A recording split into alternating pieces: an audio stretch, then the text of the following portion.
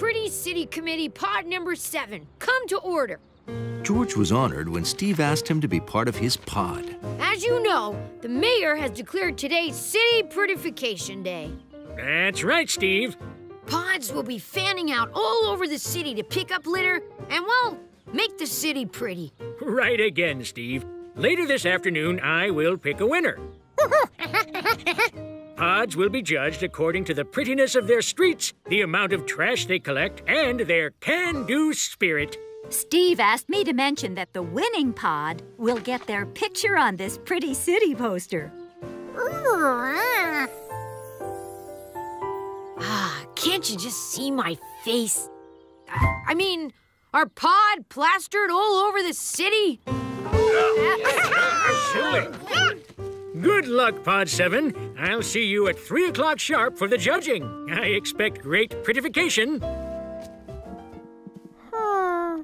Finding things that went together wasn't going to be easy.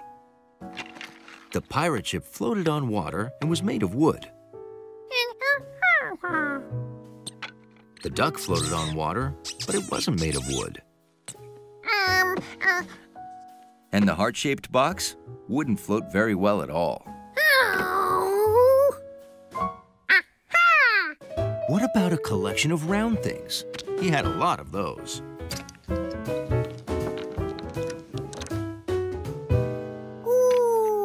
But wait, that meant he'd have to throw out the ship.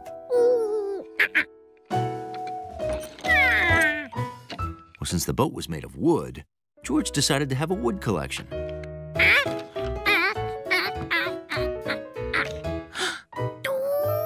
But then he'd have to give up his watch.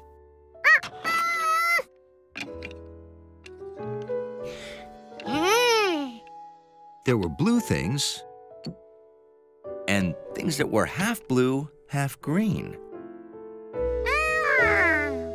At last, George knew just what to do.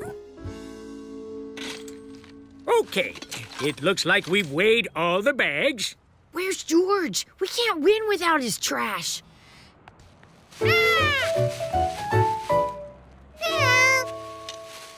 I- I- um, this bag is empty.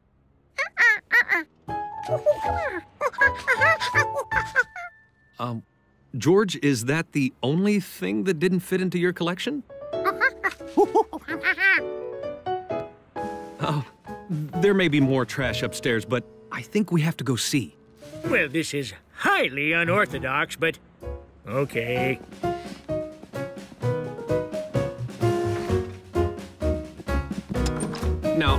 Have to warn you, the apartment may look a little messy, so. Well, I'll be. That is beautiful, George. Beautiful. Oh, it's a work of art. A color collection.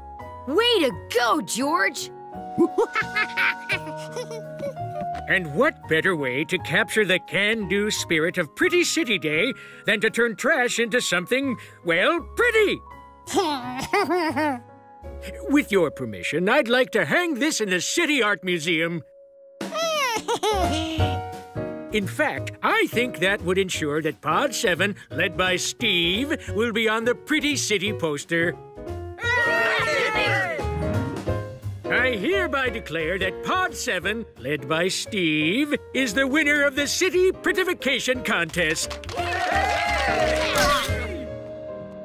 Isn't it great, George? My, uh, I mean, our picture on a poster, thanks to your work of art.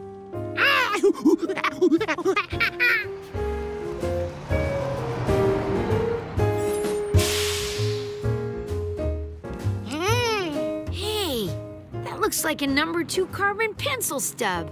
Nice yellow. This was a good beginning of a whole new collection.